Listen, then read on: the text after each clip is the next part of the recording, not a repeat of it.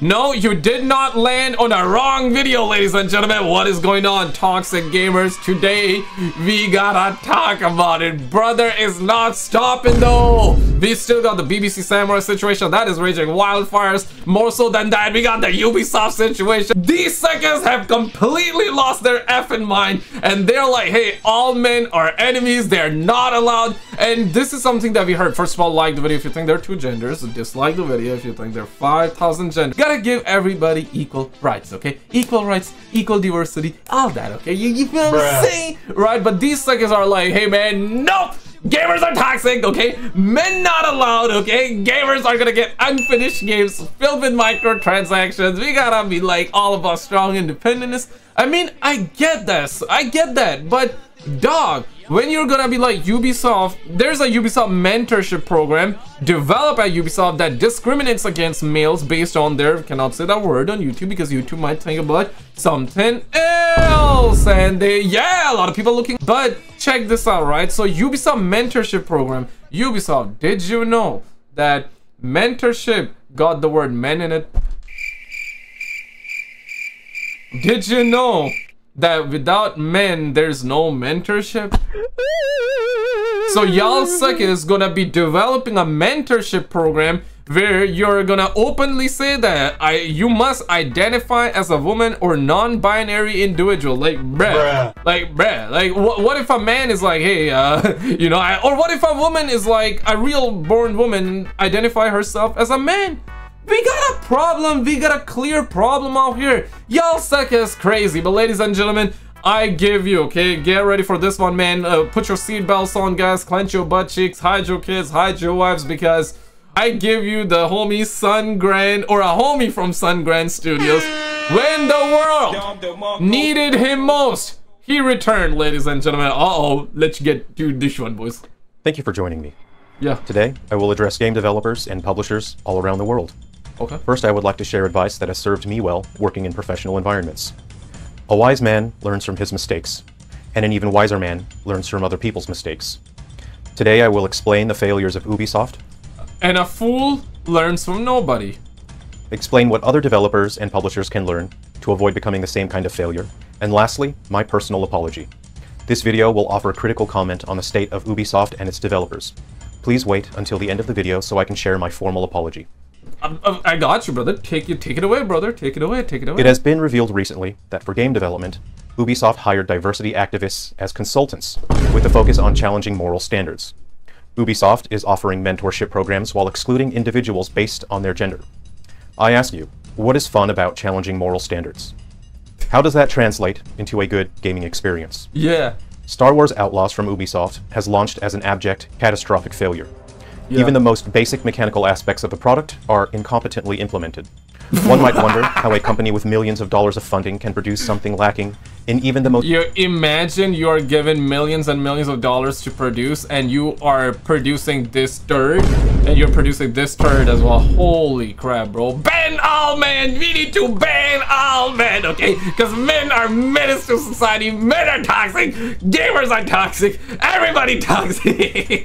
yeah, th this is absolutely wild, right? Because they got a clear problem. Ubisoft, like, son, son listen, y'all has got a real, or there are probably no son out there, right? Like, let's be real, they don't like men. Okay, fair. But you guys are saying you must identify as a woman or a non-binary individual. Okay, fair, fair, fair. But I'm saying, like, what about a woman, right? Like, what about a woman that identify herself as a man? Yeah, right? Like, then what? Like, you're not gonna let her, him in like that? Like, yeah, we got a clear problem, Bruh. though. We got a clear problem, man. We need solutions, guys we need solutions. And ever since people have heard that like you know there has been like a massive like disaster after disaster Sick is looking like this. The homie Young Yongya went into a coma right after seeing the PS5 Pro design as well. And I want to show you that after that as well. Uh, not necessarily the homie Young Yongya but we gotta I gotta show you like something right? And man very much simple gang ad though. Shout out to my simple gang. Simple. Simple Simple, okay? Uh, shout out to shout out to Soul Illuminati, man. Love the guy, man. He never really makes videos anymore. He makes like once in a while, and whenever he does, uh, you know, suckers are there, okay? But uh oh, uh, let's get to it, boo boo. Most basic level of competence. We are no longer living in an era where multi-million dollar companies hold all the power. The everyday gamer now has the power to rise up Facts. against tyrants and incompetence. Ubisoft's Assassin's Creed Shadows will fail on launch. The entirety of the gaming industry has indicated that there is absolutely no confidence in Ubisoft to produce a competent product.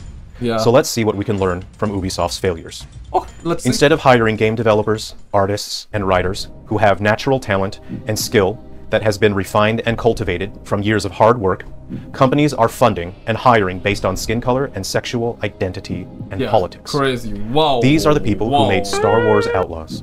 These are the people who made Assassin's Creed Shadows. Companies do not make video games. Money does not make video games. People make video games. Mm. Awful people make awful video games. And awful video games will not earn your company meaningful revenue. Ubisoft has totally missed the mark by claiming they are delivering an accurate representation of Japanese history and culture. They spit in the face of Japan as a country and as people. Ubisoft is using Japan as fodder for div- I, I want to I want to know like where brother is from uh, though. Like uh, of course like he's Asian. Uh, I'm Asian myself but I'm Pakistani. I'm like South Asian right? But he's like uh, East Asian uh, but, but where fr- uh, from where exactly? But nah he ain't wrong though. He ain't wrong though. And of course like you know he's probably nowhere near I what am I even talking about? Like he all of us right? Like all of us myself included. He, he him me you guys watching 95% of you guys are you guys watching this video we're, we're not allowed to play ubisoft games okay? We're not allowed anywhere near ubisoft games because they don't like us man. They don't like us. This thing is crazy man. They openly say that hey man gamers toxic okay? Oh man gamers don't oh, okay so you, you gotta gamers gotta feel real comfortable not owning our games Ubisoft said that. Ubisoft said that, okay? And right now, everybody's like, okay, you know what? I'm gonna feel, I'm feeling kind of real comfortable right now not owning your games, Ubisoft. I think you should feel real comfortable not making the money. That's like Gamers 101 to Ubisoft. That's what's going on right now. But as we get down to the content here, real quick, guys, I gotta shout out the homies out there for actually following over on the Instagram. Shout out to the homie Darius out there. Shout out to the homie uh, Claudia or to the gal Claudia. T uh, first DW DWOL friend uh, Froze. Appreciate you guys, Bruce. Uh, appreciate all of you guys for following over on Instagram. If you do have Instagram, I would definitely love to have you there. I let you get back to the content now, boo boo. diversity checklists to pander to an audience they have imagined because they have a narrow perspective of the world and are blinded by their own self importance and ego. These people are not capable of accepting that they can be wrong about anything. They will be unable to improve as artists and developers. So, lesson one hire based on talent and skill. Hire well adjusted adults who have some perspective of the world. If someone mentions their pronouns or sexual identity as one of their defining traits, then this person very likely has no other defining traits. Yeah! Hey, whoa, whoa, whoa, whoa, whoa, whoa, whoa, hey, tranquilo, uh, tranquilo, papi, papi, chill, papi, hey, hey, papi, hey, slow your rolls, papi. And has very little of value to offer in a creative or professional environment. Lesson 2. Using diversity consultants will not make a product better.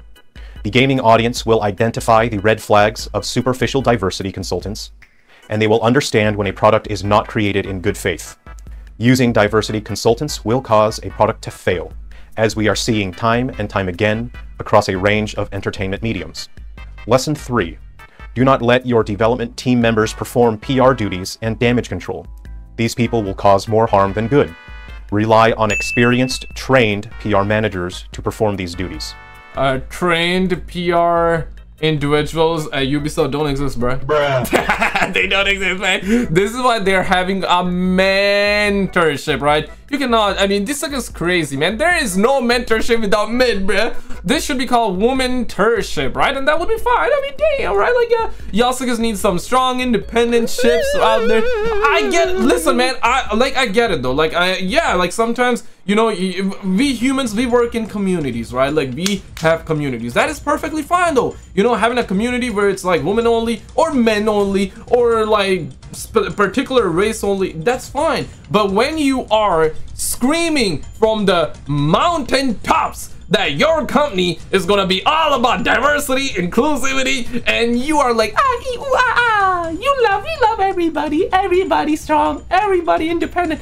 Dog, you suckers are so racist. You're racist to black people. You always use them as shields, always make them gay, and in doing so, you're using LGBT people as shields as well. Yeah, yeah, exactly, right? Like, these is crazy. They dunk, openly dunk on Asian people. I mean, for crying out loud, like in Assassin's Creed, the BBC Samurai situation, right? Using LGBT people as shields, making black people gay in the game, and, and using a real-life black person.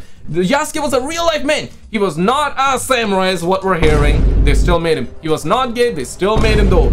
If he was in real life, I said a million times, it would have made sense to do it, right? It, for example, right, if he is, if he's gay in real life, then yeah, make him in the game, right? Like, yeah, uh, what are we talking about? But if he's not, don't do it!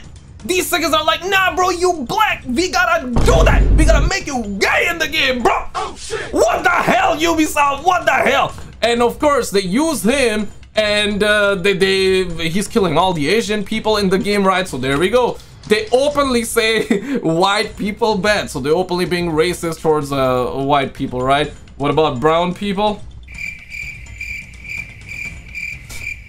where are the where is my representation and where is the representation of my people? Damn it! I'm brown. I'm like south asian and pakistani okay? Ethnically brown. Uh, people call that region of the world brown people okay? I did not make that up. That that's basically what everybody said okay so yeah, I'm considered brown.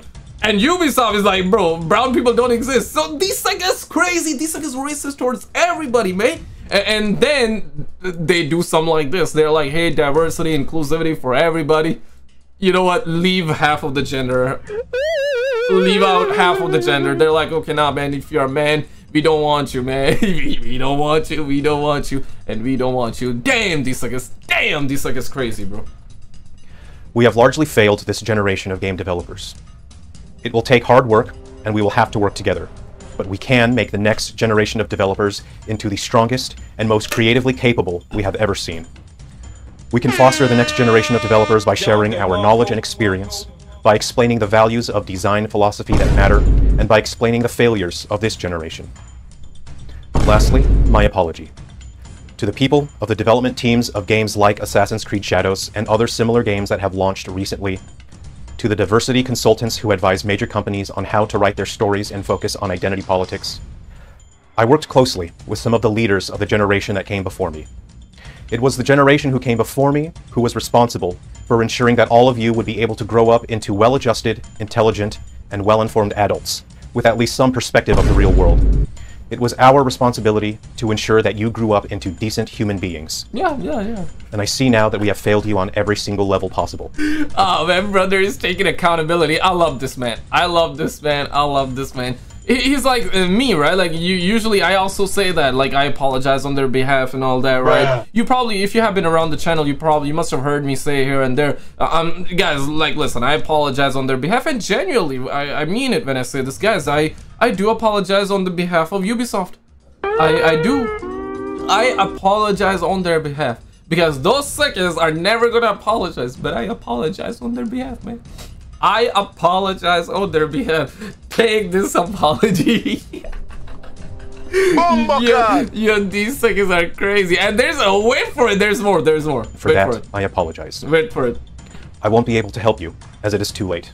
Damn. But I will work hard every day to ensure that the next generation of young people does not have to grow up into failures like you. Mm. Thank you now I want to present you, okay, ladies and gentlemen, with this one, okay, we gotta, we gotta also uh, put a, an extra seat belts on, okay, we're gonna play some GTA 5 heist music in the background because you, you're probably aware of what just went down. If you're not, you're gonna hear about it, right? Because there was a highway robbery in broad daylight under God's hot sun. It happened approximately four days ago okay? Massive heist happened on gamers okay? Gamers wallets on gamers wallets okay? Huge heist went down biggest heist of the century in the history of all mankind in gaming all right and you're probably like thinking to yourself uh, are you talking about that skizzle?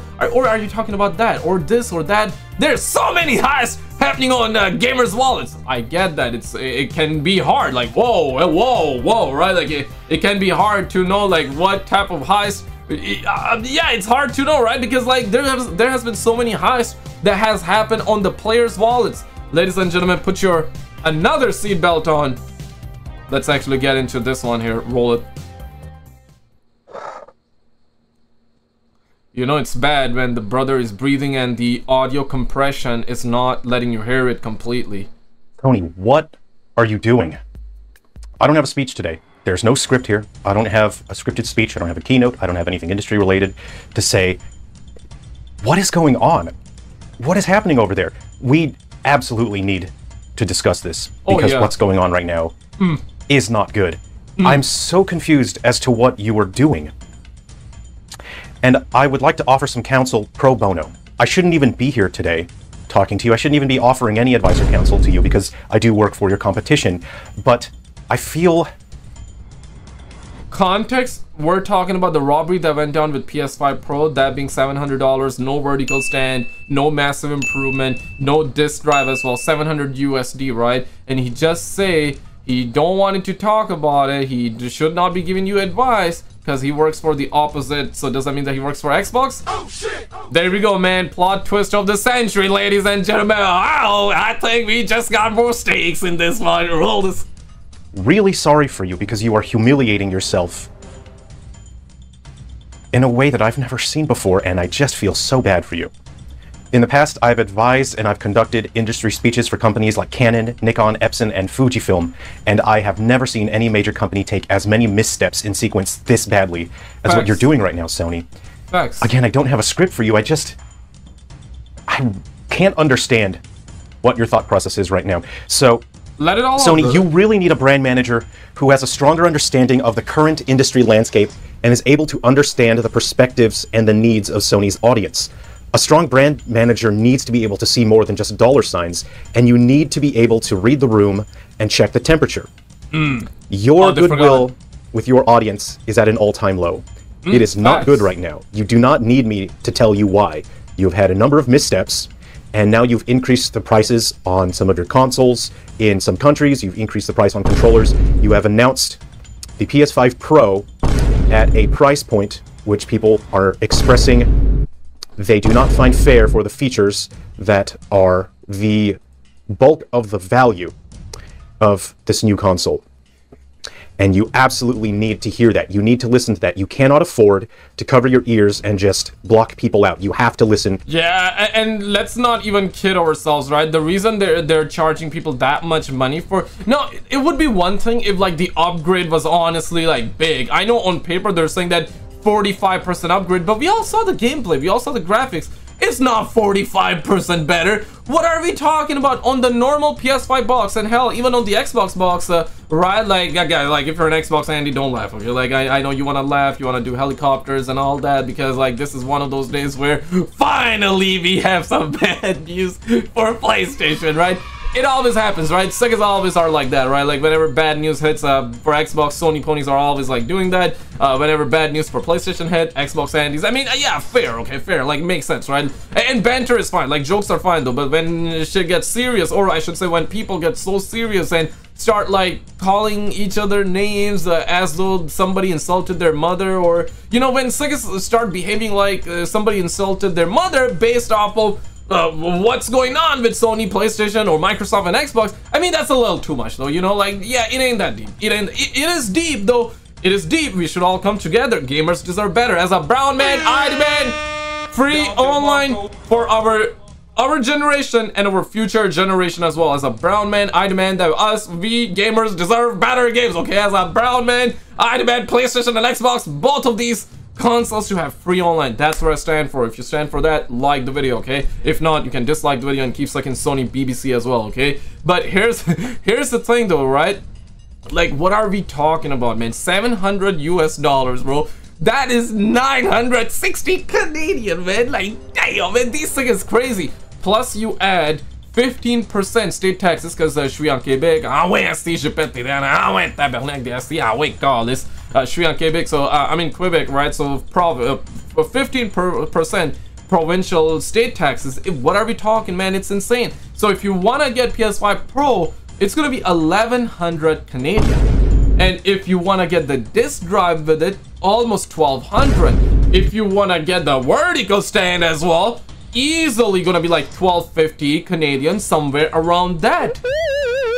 What are we talking about? And in in in USD, it's probably gonna be like 820 or something like that with the disk drive and the vertical stand. Without the, I guess the disk, uh, without the vertical stand, I guess 780. But I guess taxes as well, right? So easily gonna jump up 800. I'm not sure about the tax rates in uh, in the US. Let me know like what's your tax rate in your state uh, in the comments below. But you get the idea, right? Now, of course, that price would have been justified in a way still is, is, is, expensive but don't get don't get me wrong if we had the vertical stand disk drive and the upgrade felt like 45% when we were looking at the gameplay, then yeah, people would be like, you know what, like, yeah, damn, it's looking good, right? Damn, there's a massive jump. But there is literally none. You can literally use the sharpness filter on your monitor or on your PC or, or on your TV. Bruh.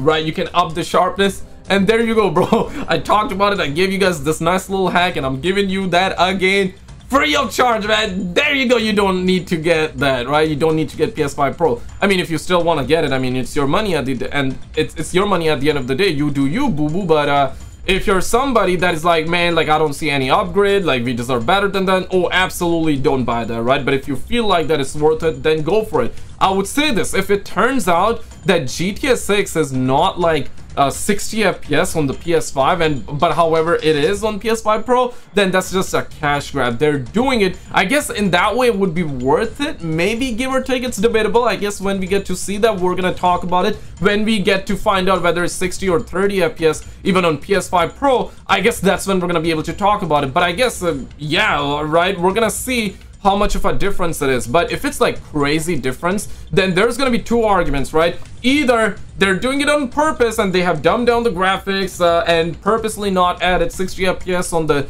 normal Xbox Series X and the normal PS5, uh, right? Because they wanted to sell more PS5 Pro. They wanted you to buy that, right? So either they have done it purposely or they really like couldn't get 60 FPS on the PS5.